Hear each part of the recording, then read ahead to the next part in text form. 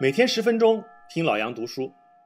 上一集我们看到了凤姐的八面玲珑，谈笑之间她就能化解所有的尴尬，而且能够照顾到方方面面的感受。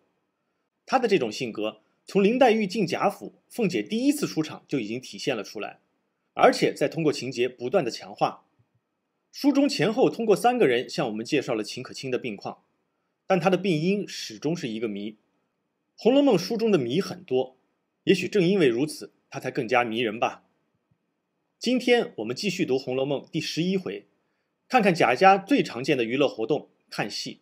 于是凤姐儿带领随来的婆子、丫头，并宁府的媳妇婆子们，从里头绕进园子的便门来。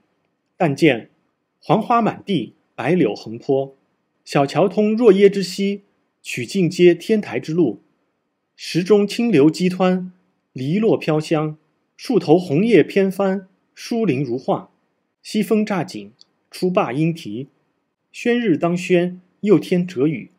遥望东南，见几处依山之榭；纵观西北，结树间临水之轩。声黄银耳，别有幽情；罗绮穿林，背天韵致。凤姐儿正看园中的景致，一步步行来赞赏，猛然从假山石后走过一个人来，向前对着凤姐儿说道：“请嫂子安安。”凤姐儿猛然见了，将身子往后一退，说道：“这这是瑞大爷不是？”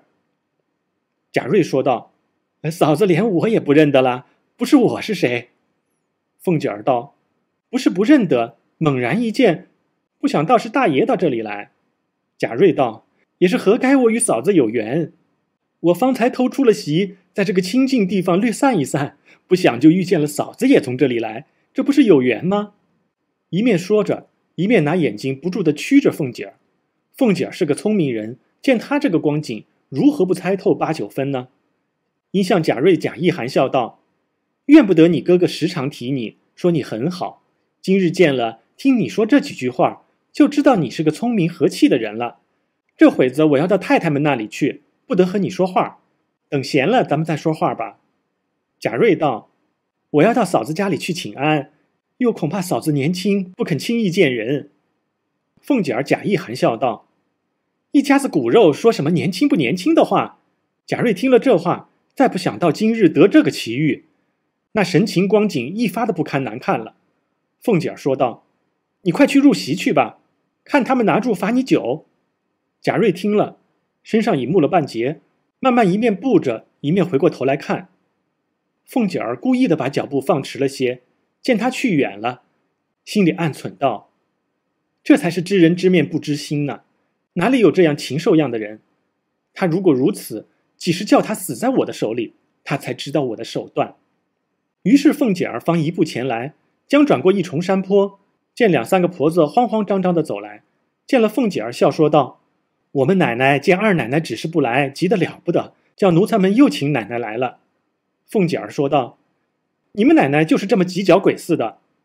于是凤姐儿慢慢的走着，问：“戏唱了几出了？”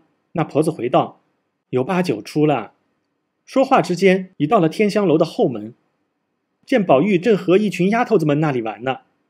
凤姐说道：“宝兄弟，别特淘气了。”一个丫头说道：“太太们都在楼上坐着呢，请奶奶就从这门上去吧。”凤姐听了，方款步提衣上了楼来。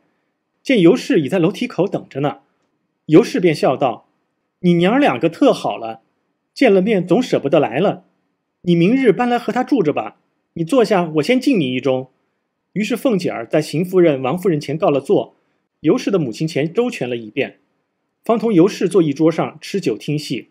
尤氏叫拿戏单来，让凤姐儿点戏。凤姐儿说道：“亲家太太和太太们在这里，我如何敢点？”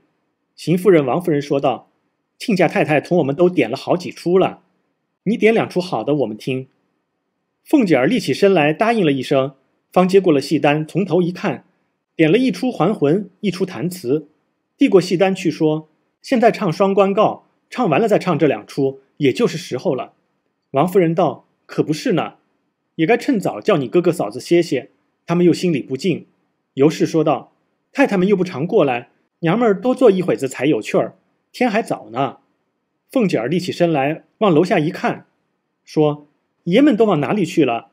旁边一个婆子道：“爷们才到宁西轩，带了打十番的那里吃酒去了。”凤姐儿说道：“在这里不便意，背地里又不知干什么去了。”尤氏笑道：“哪里都像你这么正经人呢？”于是说说笑笑，点的戏都唱完了，方才撤下酒席，摆上饭来。吃毕，大家才出园子，来到上房，坐下吃了茶，方才叫预备车，向尤氏的母亲告了辞。尤氏率同众姬妾，并家下婆子媳妇们方送出来。贾珍率领众子侄都在车旁侍立等候着呢。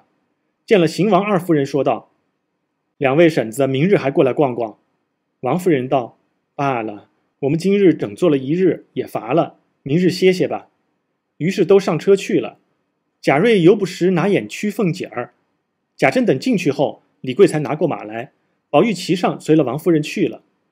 这里贾珍同一家子的兄弟子侄吃过晚饭，方大家散了。次日。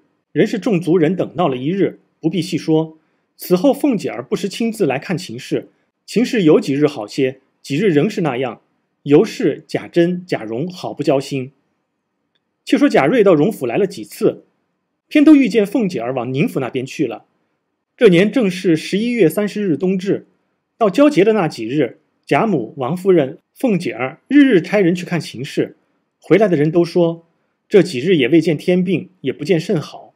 王夫人向贾母说：“这个症候遇着这样大节不添病，就有好大的指望了。”贾母说：“可是呢，好个孩子，要是有些缘故，可不叫人疼死。”说着一阵心酸，叫凤姐儿说道：“你们娘儿两个也好了一场，明日又是大初一，过了明日，你后日再去看看他去。你细细的瞧瞧他那光景，倘或好些，你回来可告诉我，我也喜欢喜欢。那孩子素日爱吃的。”你也常叫人做些与他送过去，凤姐儿一一的答应了。到了初二日，吃了早饭，来到宁府，看见秦氏的光景，虽未甚天病，但是那脸上身上的肉全瘦干了。于是和秦氏坐了半日，说了些闲话，又将这病无妨的话开导了一番。秦氏说道：“好不好，春天就知道了。如今现过了冬至，又没怎么样，或者好的了，也未可知。婶子回老太太放心吧。”那日老太太赏的那枣泥馅的山药糕，我倒吃了两块，倒像刻画的冻似的。凤姐说道：“明日再给你送过来，我到你婆婆那里瞧瞧，就要赶着回去回老太太的话去。”秦氏道：“婶子替我请老太太太太安吧。”凤姐答应着就出来了。到了尤氏的上房坐下，尤氏道：“你冷眼瞧媳妇是怎么样？”凤姐低了半日头说道：“这实在是没法了。”你也该将他一应的后事用的东西也该料理料理，冲一冲也好。尤氏道：“我也暗暗的叫人预备了，就是那件东西不得好木头，暂且慢慢的办吧。”于是凤姐吃了茶，说了一会子话，说道：“我要快回去回老太太的话去呢。”尤氏道：“你可缓缓的说，别吓着老人家。”凤姐道：“我知道。”于是凤姐回来到了家中，见了贾母，说。荣哥媳妇请老太太安，给老太太磕头，说她好了些，求老祖宗放心。她再略好些，还要给老祖宗磕头请安来呢。贾母道：“你看她怎么样？”凤姐说道：“暂且无妨，精神还好呢。”贾母听了，沉吟了半日，应向凤姐说：“你换换衣服，歇歇去吧。”凤姐答应着出来，看过了王夫人，到了家中，平儿将烘下的家常衣服给凤姐换了。凤姐方坐下，问道：“家里有什么事吗？”平儿方端了茶来，递了过去，说道：“没什么事，就是那三百两银子的利银，旺儿媳妇送进来，我收了。再还有瑞大爷使人来打听奶奶在家无有，他要来请安说话。”凤姐儿听了，哼了一声，说道：“这畜生何该作死？看他来了怎么样？”平儿因问道：“这瑞大爷是因为什么只管来？”凤姐儿随将九月里在宁府园子里遇见他的光景，他说的话都告诉了平儿。平儿说道：“癞蛤蟆想吃天鹅肉，没人伦的混账东西，想起这个念头，叫他不得好死。”凤姐儿道：“等他来了，我自有道理。”不知贾瑞来时作何光景，且听下回分解。紧接着，贾瑞就出场了。前面说过，贾瑞是贾代儒的孙子，但人品有问题。其实这个人不光是人品有问题。我看他眼光也有问题。贾府上下那么多的女性，他挑谁不行？他挑了最不该招惹的人来调戏，那就是女儿中的英雄王熙凤。红学界有人提出，之所以把贾瑞的情节插到这里，就是要让他跟秦可卿的两条线并行。也就是因为秦可卿这条线不能明写，所以用明写的贾瑞事件暗示了秦可卿事件。而事实上，两条线的本质都是一样的。老杨认同这种观点，两边都是情欲惹来的灾祸，都是乱伦。一边是老丈人和儿媳妇，一边是堂弟和嫂子。最后用两个人物的死亡来告诉我们道德败坏的最终结果。《红楼梦》的作者其实有很强的道德观念，这一点我们从第一回中反复抨击才子佳人小说就可以看出来。但作者并不是一个儒家的卫道士，不会只讲空洞的道理。这跟我们现在很多人都说写文章、做演讲一定要讲故事，而不是讲道理一样。两条线的两个故事推到了同一个结果，那就是如果不控制情欲，一味的追求淫乱，只会导致灭亡。当然，在贾府中污秽的事情远不止这些，我们后面还会看到，《红楼梦》中看唱戏的情节很多，每次都很重要。重要的不是看戏本身，而是书中人物点的每一出戏，都影射着后文中这些人物的重大情节。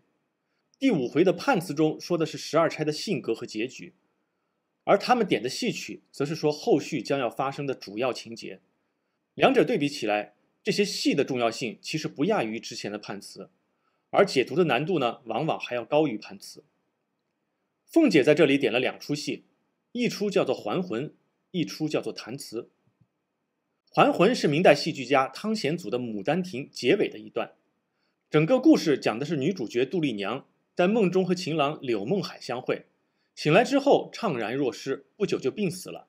她病死前留下了一张画，之后因缘巧合，柳梦海真的来到这里找他，看到了那幅画，并得到了启示。他掘开了杜丽娘的坟墓，杜丽娘就复活了。这个还魂指的就是最后这一段。弹词指的是清初剧作家洪升创作的长篇传奇戏剧《长生殿》中的一出，讲的是唐朝安禄山叛乱，导致了大众流离失所。宫廷音乐家李龟年流落到江南，靠卖唱为生。在鸠峰寺的大会上，李龟年弹唱了唐明皇因为宠爱杨贵妃，所以导致叛乱的经过。他唱得声泪俱下，深深感动了听众。善吹铁笛的李牧结识了这位前辈，向他学习，并继承了《霓裳羽衣曲》。对于还魂，我们紧接着就能看到对应的含义，那就是秦可卿去世的时候托梦给王熙凤。而如何解释弹词呢？至今都没有定论。一般认为这是八十回以后贾家败落之后涉及王熙凤自己的结局。书中还提到，现在正在唱的戏叫做《双关告》，这个戏有个更常见的名字叫做《三娘教子》，改编于清初剧作家李渔的小说《无声戏》。这个故事讲的是一个叫做薛广的人，他有一个妻两个妾，其中的一个妾叫做王春娥。薛广到了镇江当兵，托朋友给家里带钱。这个朋友谎称薛广已经死了，就吞没了这笔钱。而薛广的两个妻妾呢，也就先后改嫁了，只有王春娥留下。她含辛茹苦地带着薛广的儿子度日。最后，在王春娥的教导下，薛广的儿子中了状元，而薛广呢，也带着军功还家，最终一家团圆了。在门王府本的石头记中，在这个戏名的侧面有一句批语：“点下文。”这句批语成了《红楼梦》中另一个未解之谜。现在就请你用弹幕做出选择，写这出戏的目的到底是什么？第一，这是通过三娘教子来反衬贾家中的各位母亲教育失败；第二，这是指宝钗也跟王春娥一样，也有听积德，也在教育方面不断督促宝玉努力读书；第三，这是说李纨也是一个好母亲，未来能教育贾兰获得成功。在这里还有个小插曲，凤姐问道：“包括贾琏在内的男人都去哪里了？”婆子说到一边吃酒去了。凤姐很怀疑他们干别的去了，而尤氏却笑道：“哪里都像你这么正经人呢？”这个对话其实包含的意义很丰富。首先，凤姐很爱吃醋，一直不放心贾琏，而事实上也证明贾琏确实心比较花。虽然他比宁国府的那些男人本质要好一些。但是好色依然是她的一个弱点。其次是尤氏，她一直放纵自己的丈夫和儿子花天酒地，这也可以从后文中尤二姐、尤三姐的情节看到表现。宁国府的道德败坏无处不在，根本就不得安宁。也许这就是作者起这个名字的原因吧。特别提醒大家，虽然没有细写，但是在这里作者说了，本回凤姐看秦可卿并不是他们见的最后一面。之后凤姐还经常看望秦可卿，只是秦可卿的病并没有什么起色。很明显，正是因为她的心病无药可医，所以即便遇到了貌似神医的张有士，最终也是无力回天的。书中在这里还告诉了我们一个信息。那就是时间已经到了十一月底，这个时间的重要性与之前张有士说秦可卿的预期寿命是直接相关的。同时，这也为后文中凤姐折腾贾瑞，让贾瑞冻得生病做了一个铺垫。在此提醒一下，之前留言区有朋友问薛宝钗进入贾府到底待了多长时间？其实《红楼梦》的时间轴并不连续，单从季节来看，从宝黛之前一起到梨香院。到现在至少已经是第二个冬天了。关于《红楼梦》的时间轴，我在之前那个共享文件夹里放了一张根据周汝昌老先生的研究制作的图表，大家可以下载查看。凤姐看到秦可卿很瘦，这其实就是睡不好、吃不下的必然结果。到这个时候，秦可卿反说了一些想活的话。人其实都是有求生本能的，但是这个时候身体已经不行了。王熙凤很含蓄的把情况给贾母说了。贾母听了，沉吟了半日。为什么她不说话呢？因为贾母是非常精明的，即便凤姐很含蓄，但贾母什么都听得出来。物以类聚，人以群分。贾母这个人年轻的时候多半非常像凤姐，从他自己有很多私房钱，待人接物精明得体就可以看得出来。《红楼梦》里面没有人能够糊弄贾母，包括王熙凤也不行，只是因为她年纪大了，所以放手了。贾母的喜好非常明显，那就是她是一个颜值党，喜欢漂亮的；而贾母的反面就是王夫人的价值观，她讨厌好看的，只喜欢笨笨的。这也造成了后文中矛盾逐渐激化和爆发。这种差异的最大原因，老杨估计是贾母年轻的时候也是属于好看的那种人，既聪明又好看，各方面都很要强；而王夫人则不同，她就是属于那种笨笨的，看不得别人好看。而且我估计赵姨娘和周姨娘都是比较好看的那种。面对两个好看的姨娘，长相一般的王夫人肯定是有想法的。而这种偏见也就扩展到了所有长得漂亮的人。本回末，平儿提到了旺儿媳妇送进来的三百两银子利钱，这其实就是指王熙凤在外面放的高利贷。她为什么要放高利贷？拿什么钱去放高利贷？我们后文再说。如果你喜欢这个节目，请记得订阅、投币、点赞，并分享给你的朋友，让更多人了解并爱上《红楼梦》。我们下集再见。